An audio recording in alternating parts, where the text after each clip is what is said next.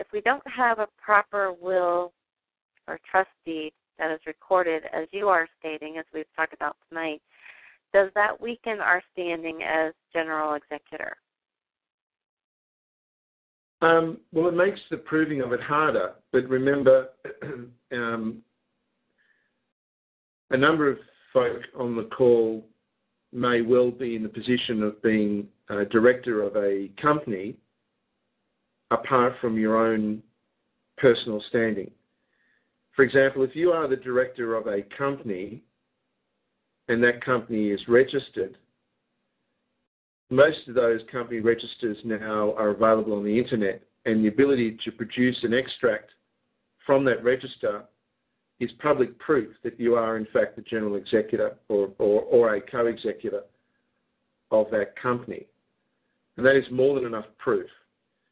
So it's not simply that you may be the general executor of the Frank O'Collins estate, you may well be the general executor of Ucadia. Um, or you may be the general executor of XYZ. So I would um, I would say to you that the the recording of the will, the uh, recording of it as a deed and executing of it um, makes the argument stronger. But if you're dealing with a company matter, it does not affect your strength in maintaining your position, providing you act as an executor. So I think that's the answer to that question specifically, because I do know in the nature of that question and and the history of that question that there is also a company associated. So I hope that answers that for people as well. All right, great. Thank you, Frank. Um, next question here uh, from the chat. I just received short form birth certificate from Alberta. The long one is going to take three extra weeks. The names are all in proper case. Let's see where this is contained. Is there any significance to the proper case spelling?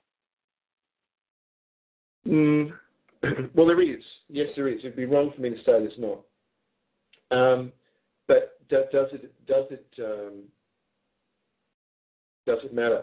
The the uppercase in their system is used principally to denote uh, trusts uh, but to denote legal persons. So let, let me explain how this works. Um, a trust creates uh, is created by some rights or property being conveyed into it. Those rights are put into what's called the trust corpus. The trust corpus is also called other things. It's also called the body corporate uh, or the corporate person. So the, the, the res, the property, becomes the body of the person. And so every time you see uppercase, you see a legal person, which is identifying both a, a trust corpus and the existence of some kind of trust. And the property itself, once it's into a trust corpus, may entail more than one thing. It may entail uh, uh, title to land, it may entail uh, a car, may entail a whole lot of other different things.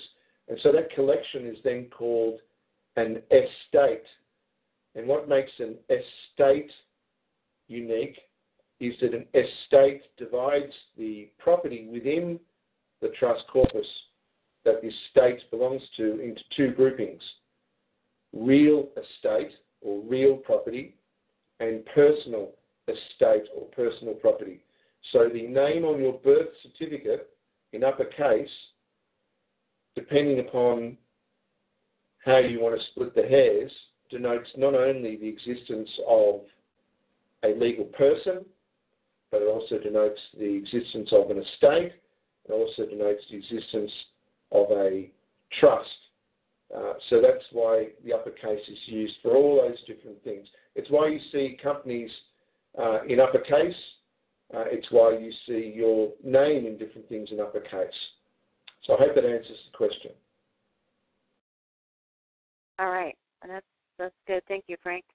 Uh, let's go to the phone lines again. We have uh, Boshab on the phone. Hello. Hi. Hi. Hi. Hey, uh, I'm a little behind the times here. I'm uh, trying to keep up with everything, but I had a couple of points that I want to ask you, and I was listening to Ron. Uh, cer- to my knowledge, certificate of title, like for what they call a motor vehicle, is not actual title. It's just proof the title exists. Yeah. So my point here is certificate certificate of birth. Uh, the way I see it is probably a title. yes, uh, it is. So if the certificate of birth is a title, and like uh, Ron mentioned, uh, doing the executor position drawn by the testator, aren't they doing the same thing? Uh, the way I see it, the way they've switched everything, they get us to register to vote, they get us to get a driver, whatever it is, what into this federal system, or I call it the bar association system. Uh, Yeah. Do we, in a sense, have we appointed the executors of an estate of their title? In which would I, I, I, would I see what you're, I see what you're saying. Yeah. Okay. Um, there's a couple of sections. Um, can I ask you a couple of quick questions? Have you had a chance to have a look at the canons of positive law? I have, but it's probably been a few months. Oh, as Ron would testify, much to his chagrin, uh, they have been uh, updated quite a bit since then. Well, okay. Yeah, I imagine you- I've been working and yeah, Yeah. I, I started from the beginning. I just haven't been able to keep up everything. No, that's all right. And I, again, I apologise, but I, I put out an open apology to Ron, and I put an apology to everyone that it's an update. It's an up. It's a work in progress. But that comes back to the point of when we find things out, we need to integrate. The reason I mention that is a couple couple of reasons. One is that when we state ourselves the general executor of the legal person, then really we're establishing the, the fact that, that no one but ourselves can claim our own body ultimately, nor can they claim our mind ultimately, nor can they claim our soul ultimately uh, in one but ourselves. You follow? Right. Now they can claim executorship of an individual trust where they want to split something off. They want to split off a car. Or in some cases, when we talk about these hidden trusts, they may want to split off and claim our body. Yeah? But nowhere have I seen in their system do they ever stretch themselves to the point of claiming to be the executor, the general executor of the whole thing. You follow?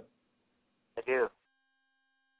So if you play the P and shell game at the level of merely being an executor, then I would agree with you wholeheartedly that you're going to be playing that till the day you die, because they'll be producing more trust than you can deal with, and you'll be basically, you know, chasing your tail, saying I'm the executor, I'm the executor, and I'll say, well, are you or not, you know, and, and goes on. But when it comes to the role of general executor over all the trusts, and therefore the whole estate of the legal person, that is entirely outside of their system. It encompasses their system, but it is beyond their system. You follow? I do. Okay. Now, as to your earlier question about title, the certificate absolutely is a certificate of title. And what is the original? Well, title, and we, we talk about this in the canons, title is literally the record in the register. So your original title, in terms of what is, is, is provided through a birth certificate, is that record entry into the register, which when it is a slave register, has a very old special name. So a title in a slave register under the Roman system, being the record, used to be called a thing called a nomen. And guess what word comes from the word nomen? I don't know. Your name. Hmm. So I agree with you. But I think I answered the first part clearly that when you stand up as general executor, it is beyond the scope of their claims. Right. I have one more question. Yeah. Uh, I'm looking at a deed of trust here, Yep. and I'll just it says this deed of trust, and it says security instrument in parentheses is made on date. The grantor is my name. Who acquired title as my name? Uh, husband and wife. Uh, says the grantor is who acquired title. So doesn't that? I'm confused because it says right there who acquired title, and I went to the auditor's office, asked some questions, and they said they talked about the deed. Says, well, you should have the deed. And I've been into it with the bank somewhat. They say they don't have the promissory note and all this. My, I don't want to get drawn out here, but Right. it says right there who acquired title. I want. I would like to know where the title is because, in my belief, I believe State Washington probably has. Well, this is the yeah. This is back to that question of what is title. Title is an entry in their system. A title is nothing more than a description of a book entry in a special register of property, and they have different registers for different types of property. So a noble, someone with a, a high title, is in a different form of registry than you and I. That's all it is. All one more, one more point to this. It says Yeah, who sure. acquired title. Would that not say that this was paid for at the time of this uh, happening? I'm not too sure because I'm not. I'm not. I, I didn't quite get the whole gist of what you're saying. But if you want to send me an email, send me an email, and I'll and I'll try my best to get back to you on it. Okay. Okay, that would work. All right, All right. thank you. man. Good on you. All right, thank you. All right, uh, over uh, the chat real quick again. Um, in your opinion, are there any countries or places not under the control or influence of these evil, uh, ancient systems, ancient evil systems? Uh, There are, but I'm not too sure there are places you want to live. Uh, the one that that was the um, the top of the pops in terms of uh, reforming itself uh, was a place called Libya, and uh, it it was uh, promoting a number of anti-bank type notions. Uh, it had banned the concept of mortgages. It had opened up the concept of developing of land. It had um, it had had promoted the concept of no interest uh, loans into to business, and it was seeking to promote a whole range of different um, countries in Africa to adopt uh, a similar sort of structure. Now, admittedly, it was run by a guy that got there by murdering people, and uh, if you if you were anti him, then they'd certainly come after you. But certainly, uh, uh, Libya to the banks was enemy number one. Um, another another one is uh, um, Iran, and another one is China, and of course um, North Korea is another one. But the problem in all those cases is that when you look at them, it, it almost allows you in an instant to say that um, these are the enemies of commerce, these are the enemies of capitalism. And of course, that comes back to the meaning of enemy.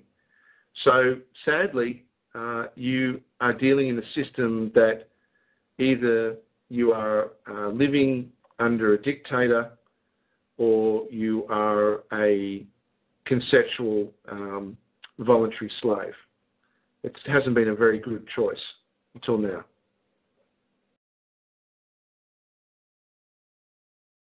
Actually, was, wasn't it the four or five countries that are not part of the World Bank system right now at this Yep. time that are? That's right. There's only about five or six. That's right. Yeah. Uh huh. Yep, very good. All right, let's go back to Alpha on the phones here. Alpha, are you there? Hi, Frank. Hi. Um, I was going to ask this question too. Is there any real advantage to trying to get yourself uh, uh, to be a non-registered, non-resident alien, or is this process kind of leading you in that direction? Look, I I know that that, that has been promoted over time, And certainly when you look at the concept of what does an enemy represent and other things,